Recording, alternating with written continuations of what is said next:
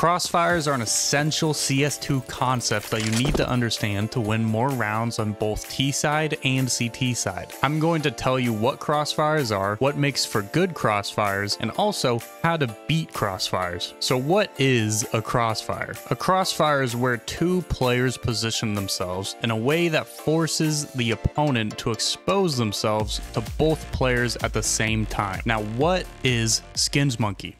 They're the sponsor for this video. Skins Monkey is a jolly automated CS2 trading platform that provides you with a 35% bonus on every cash deposit and gives you $5 free for any trade above $100. This holiday season, Skins Monkey is giving a gift away to everyone. This could be a free skin, up to 50% deposit bonus, or free balance on the website. There are no hidden requirements, just sign in through Steam and claim your gift. After you claim your gift, you can also get more free gifts by trading skins. They're also separately run running an advent calendar which can give you gifts composing of XP, deposit bonus, and tickets to giveaways of free skins. Use my code Wilson Happy Holidays and thank you Skins Monkey. Think of crossfires like a triangle where the two CTs and the T make up each point of the triangle. As this triangle becomes more obtuse, the crossfire becomes more effective. The larger the angle is for the T between the two CTs, the more likely the T will have to expose their back to one of the CTs, and the harder it is to isolate these fights. Along with that, with a wider angle between the two CTs, the T would have to swing their mouse a much larger distance to fight the second CT. The very best crossfires aren't even triangles, they become so obtuse that they just turn into a line, with the two CTs on the outside and the T in the middle. Let's take a look at some examples of crossfires from what is, in my mind, the most crossfire heavy map in the pool right now, Inferno. Mid brackets on Inferno is a clear-cut example of a good crossfire. One player short, one player arch, holding the Ts when they run out of mid. However, if both players play the corners of mid rather than flush against the wall there, then the Ts will be able to isolate fights against them. That then makes it less powerful of a crossfire. This crossfire from site to pit can be super difficult to get through. Both of these are very cheeky angles that can be quite hard to clear, especially when you're exposing yourself to both of them at once. Over on the B site, there's a ton of opportunities for crossfires. One player Nubox and one player CT can be incredibly hard to deal with. Coffins and Nubox can be really tricky along with Coffins and First Orange. So how do we beat these really strong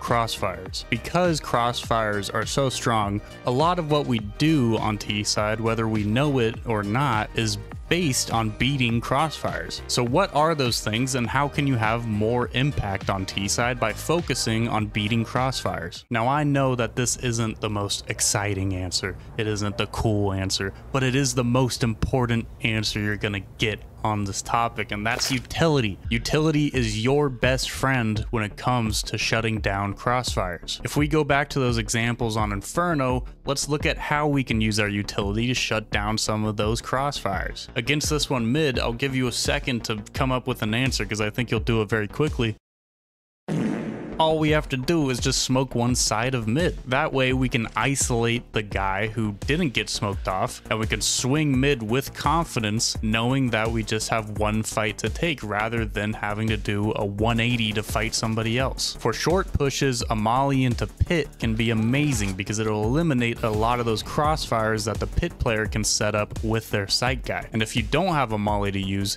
you can also use your smoke in a variety of ways to block off that pit player from having any impact. On B site, util is incredibly important. Stand in this little corner and have your buddy drop you a molly and you can molly new box and first and second oranges just like this. Both of those mollies or even just one of them combined with a CT smoke and a coffin smoke will eliminate a ton of different crossfires for the CTs. My biggest point here is that the quote unquote basic utility is often the strongest. The reason why these lineups, this util, is thought of as basic isn't because the lineups themselves are really easy to learn or any other reason. It's it's mostly just because they're so strong. That everybody, when they learn the game, when they learn util, they should learn these lineups first because they have the most impact on the game. And why do they have the most impact? Because they get rid of super powerful crossfires for the CTs. A smoke CT on B site Inferno is basic because it's just so strong that everybody should know it. So focus on just having those basic lineups down because they, more often than not, will have the most impact. Now, what if you're trying to push, but you don't have any util. How can you deal with crossfires? Well, here are three tips on how you can deal with crossfires without having to use util. A lot of people, when pushing an area that has a lot of opportunities for crossfires, they'll be very timid and anxious. They try to have their crosshair on every angle at once and it becomes this big mess. By trying to be ready for every fight, they end up not being ready for any fight. Instead, it is so much better to swing with confidence and certainty. For example, let's say it's late round and my team is trying to push mid brackets without a smoke. We don't spot anyone playing the corners, and so I have to expose myself to this crossfire. What am I going to do? I'm going to pick a side and I'm just going to swing. Now, I don't know if it is a crossfire, if there's one short and one arch, if there's maybe just one arch or just one short.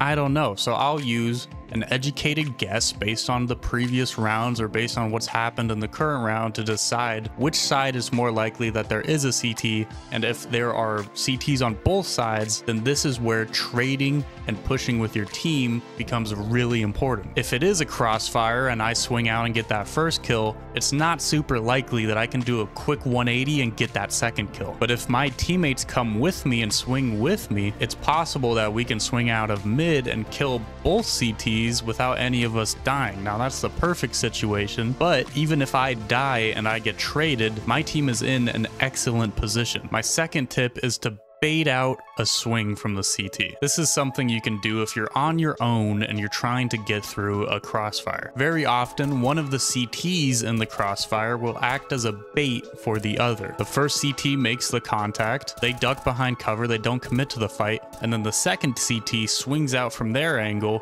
and finishes off the kill. If you have an inkling that this is the case, then expect it. Take that first contact, don't commit to it, and then reposition to be ready for that second fight. My third tip is that one great way to deal with crossfires, whether you're alone or with your team, is to overswing them. Overswinging a crossfire can do two things for you. Number one, you might swing past the line of sight of one of the CTs, which then allows you to isolate the fight with the second one. Secondly, if you have teammates with you, you are creating more space for them to swing and a greater opportunity to trade you out. Along with that, you're forcing the CT to readjust their crosshair pretty far off the angle that they were originally holding, which then makes the fights for your teammates easier. If you want more tips on how to get more kills, go watch this video over there. It's pretty cool. Please subscribe to join the Wilson Nation. Thank you so much for watching. Merry Christmas and happy holidays to everyone. Thank you, thank you. And a huge thank you to my channel members. They support me in what I do, and I am just so grateful